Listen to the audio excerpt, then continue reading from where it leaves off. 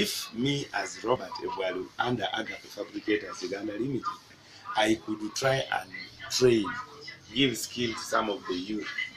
If the government could come in and give a support, I imagine it would do more and I would support more number of the youth uh, in this kind of skill. And why?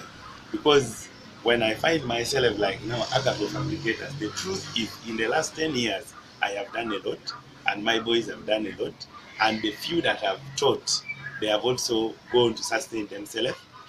So that's why I stand the other side and say if anybody listening to this under the government, please sell the ideas and let the government come out and give support to us in skill and then we can also give support to the youth out there that needs help because me they always come asking me but because i'm not able so i find myself saying no i'm still having two. I cannot do more than two.